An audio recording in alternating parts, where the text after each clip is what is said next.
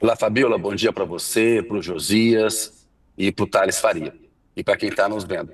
É, Fabiola, o Trump tem uma vitória inegável, avassaladora. Ele está liderando em. Ele liderou em todos os estados pêndulo. Ele está levando, né? Ganhou já em quatro. Ganhou na Pensilvânia, Carolina do Norte, Georgia, Wisconsin. A Kamala Harris tinha que ter segurado da Pensilvânia e Wisconsin. Estava mais difícil segurar a Carolina do Norte e segurar é, a Georgia. E aqui nos Estados Unidos, as, os, os, órgãos de imprensa fazem as projeções. Então, 538 está dando agora 279 votos para o Trump no colégio eleitoral. Ele tinha que ter 270, está com 9 a mais. A Kamala Harris tem 223. E além de ter levado já esses quatro estados pêndulo na projeção feita pelos veículos de imprensa, ele está liderando no Arizona, em Nevada e no Michigan, que são os outros três estados pêndulo. Se a gente comparar com 2020, em 2020, o Trump ganhou só em Nevada. Nos outros seis estados pêndulo, o Biden ganhou. Então, nessa campanha, ele teve um desempenho melhor do que em, em 2020.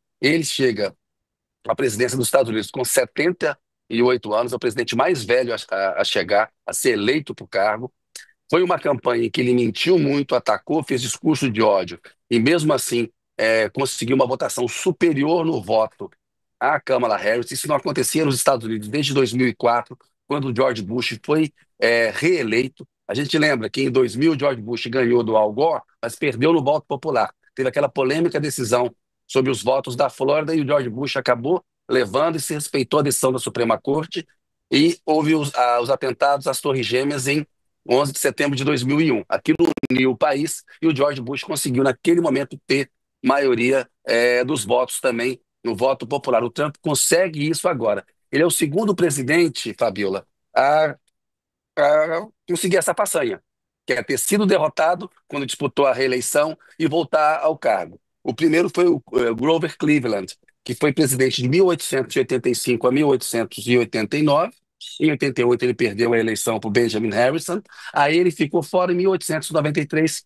Ele voltou para o cargo e é, virou, ele foi o Cleveland, foi o 22º e 24º presidente dos Estados Unidos. O Trump foi o 45º, o Biden 46º e agora ele consegue a façanha de ser o 47º é, presidente dos Estados Unidos. É uma vitória inquestionável dele, isso vai dar muita força para o Trump. Ele chega mais forte agora do que ele chegou é, em 2016, quando ele ganhou da Hillary Clinton. Ele se diz mais experiente, mais disposto a comprar ah, algumas brigas. Aqui nos Estados Unidos há uma limitação para para o exercício dos mandatos. Então, assim, o Trump não poderá ser reeleito, mas ele tem como vice dele J.D. Vance, que é alguém que, em certos aspectos, é ainda mais radical e mais conservador do que ele. Então, já apontam para um futuro é, é, candidato em 2028 para a candidatura do J.D. Vance. E já se questiona, né?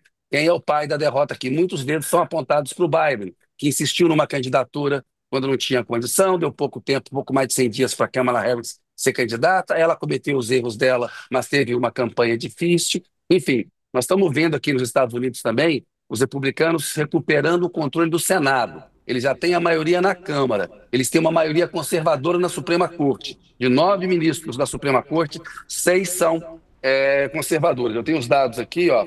Três deles foram indicados pelo George Bush, dois pelo Barack Obama, três pelo Trump e um pelo Biden. O Trump deve, pode ter a oportunidade de indicar mais ministros conservadores para a Suprema Corte. Isso tem impacto em conquistas das minorias, enfim. E dá a ele um controle político que o Biden não teve. O Biden teve que negociar é, é, é, para poder conseguir aprovar projetos, por exemplo, na Casa dos Representantes, que equivale à Câmara dos Deputados aqui. Então, ele chega à presidência com mais voto popular, o que elimina esse argumento de que o colégio eleitoral é, beneficia um populista. É, é, um sistema complicado mesmo, a gente pode falar dele adiante. Os republicanos terão o controle do Senado, controle da Câmara e maioria na Suprema Corte. A gente está vendo nesse momento nos Estados Unidos uma ascensão do autoritarismo. Onde isso vai dar, nós vamos ter que acompanhar. Muitos historiadores que resistiam a chamar o Trump de fascista já o classificam como fascista pelo discurso que ele andou fazendo. E ele prometeu um ataque aos funcionários públicos tradicionais de Washington, chamado Deep State. Portanto, a gente tem um cenário sombrio. Né? O, se ele entregar o que ele prometeu, ele vai ser um presidente mais autoritário do que ele já foi no período de 2017 a 2021. Portanto, o quadro geral é esse. A gente pode agora analisar os desdobramentos disso aqui com, com você, o Josias e o Tades. O Kennedy já fez